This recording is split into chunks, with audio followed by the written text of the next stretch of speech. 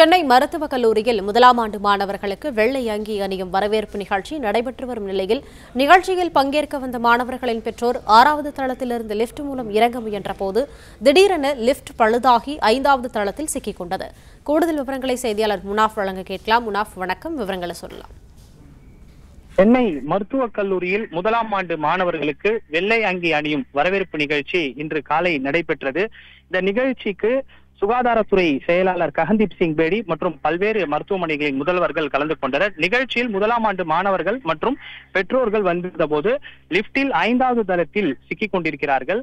அதாவது நிகழ்ச்சி முடிந்து வெளியேறிய பிறகு அவர்கள் அந்த ஆறாவது தளத்திலிருந்து தரை தளத்துக்கு செல்லும் போதுதான் ஐந்தாவது தளத்தில் பாதியாக சிக்கிக் கொண்டிருக்கிறார்கள்.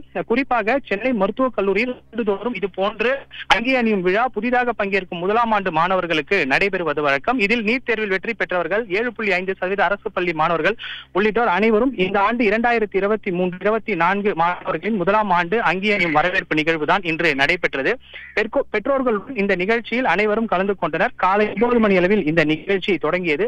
தமிழக சுகாதாரத்துறை செயலாளர் ககன்தீப் சிங் பேடி சென்னை ராஜீவ்காந்தி அரசு மருத்துவமனை முதல்வர் சென்னை மருத்துவக் கல்லூரி முதல்வர் உள்ளிட்ட உயர் அதிகாரிகள் கலந்து கொண்டனர். நிகழ்ச்சி முடிந்த பிறகு ஆறாவது தளத்திலிருந்து தரைதளத்திற்கு இறங்க போது அதாவது முதலாம் ஆண்டு மாணவர்கள் பெற்றோர்களுடன் அந்த லிப்டில் இறங்கும் போது திடீரென மின்சாரம் துண்டிக்கப்பட்டு லிப்ட் பழுதடைந்து நின்றதால் சற்று நேரம் பரபரப்பு ஏற்பட்டது. உள்ளே இருந்த மாணவர் ஒருவர் அவசர ஒடுப்பெருக்கி மூலம் சம்பந்தப்பட்ட நபரை அழைத்து ஐந்தாவது தளத்தில் இருந்து பாதி வழியாக எட்டி பார்த்து அவர் விரைவில் சரி செய்து விடுவோம் தைரியமாக இருங்கள் என்று கூறினார். மேலும் இது குறித்து சென்னை உயர்நீதிமன்ற தீயணைப்பு மற்றும் மீட்புத்துறைக்கு தகவல் தெரிவிக்கப்பட்டது. சம்பவ இடத்திற்கு வருவதற்குள் மின்சாரம் மீண்டும் கொடுக்கப்பட்டு லிப்டில் இருந்து கோளாறை சரி செய்யப்பட்டதால் ஐந்து பேர் பத்திரமாக தரைதளத்துக்கு அழைத்து வந்தனர். சம்பவம் தொடர்பாக சென்னை ராஜீவ்காந்தி அரசு மருத்துவமனை முதல்வர் விசாரணை மேற்கொண்டு வருகிறார்.